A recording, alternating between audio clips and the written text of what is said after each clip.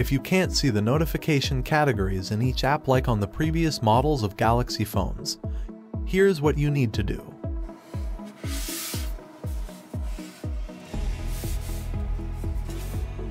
Go to Settings, Notifications, Advanced Settings. Scroll to the bottom and turn on the Manage Notification Categories for each app option. After that, you should be able to see the notification categories in each app. Let's check out the Facebook notification again to confirm that the notification categories option is there now. Yes, indeed, it is there. That's all for this short video. I hope it helps.